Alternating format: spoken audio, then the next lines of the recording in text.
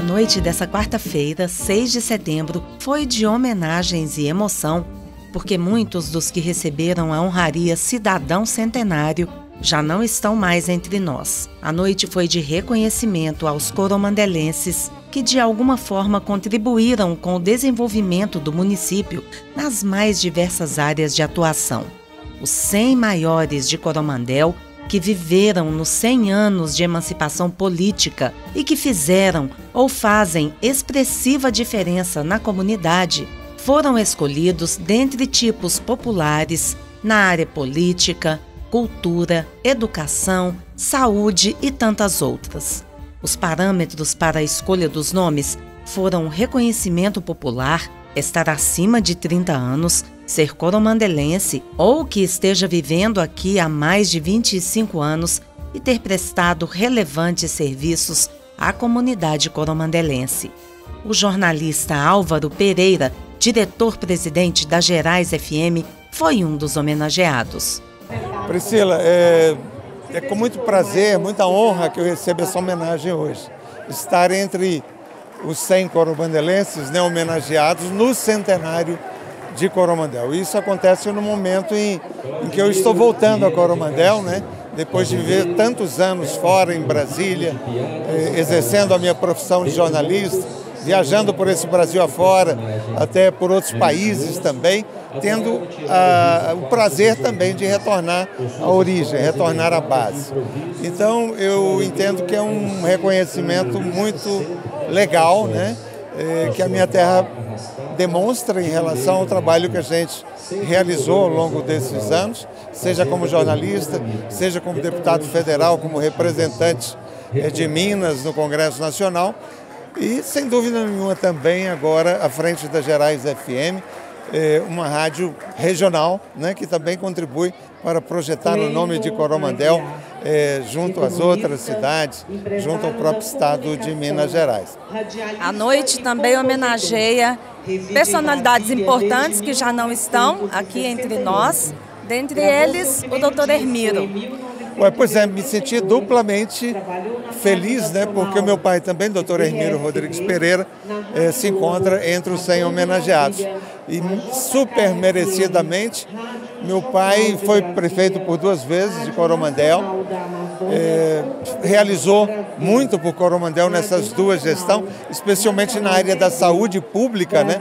Porque ele era médico, mas também na área de saneamento básico. Foi quem implantou o primeiro sistema de água tratada em Coromandel. Né? No primeiro mandato dele não tinha nem água tratada. A Gerais FM conversou com outras pessoas que falaram da alegria de estar entre os 100 escolhidos, como o professor de Educação Física Célio Rosa Pérez, tão querido e respeitado por todos que foram seus alunos. Ah, é uma felicidade muito grande, né? A gente ter o trabalho, ver o trabalho da gente reconhecido, né? E quantos cidadãos e cidadãs ilustres, né? Vocês estão homenageando isso para a gente é um motivo de muita alegria. Ter educado tantas crianças quanto jovens e você foi participante dessa etapa, né? Nerso Chihara é produtor rural em Coromandel a cidade que o recebeu há aproximadamente 40 anos também o escolheu como vice-prefeito. Sim, realmente é uma alegria a gente estar aqui recebendo essa homenagem.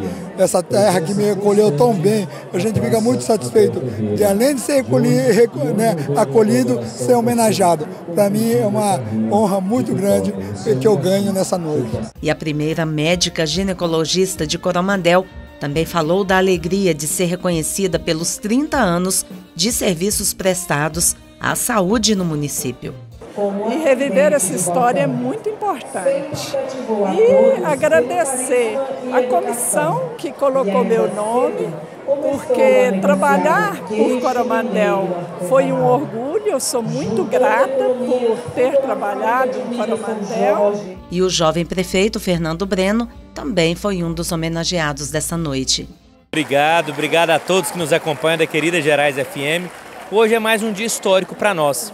Primeiro, porque nós trouxemos a capital de Minas Gerais para Grande Coromandel com a final do concurso do queijo. E agora com essa honraria de 100 cidadãos centenários.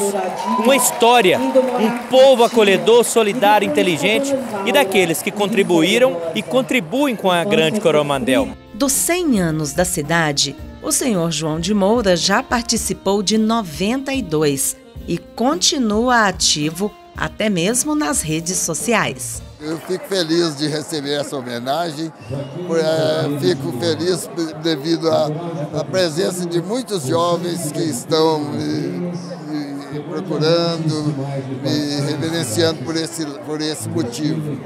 É, é um prazer estar falando para Coromandel através de vocês e desejo que eh, vocês continuem é, fazendo o que fazem para elevar a nossa cidade da maneira que vocês estão fazendo. Os cidadãos centenários foram escolhidos dentre 300 pessoas. A honraria marca oficialmente os seus nomes nos anais da história da querida Coromandel e que venham mais 50, 100 anos de realizações e desenvolvimento para esse povo que constrói a nossa história. Se uma cidade comemora um centenário, é necessário conhecer a sua história, começa lá distante, procurando.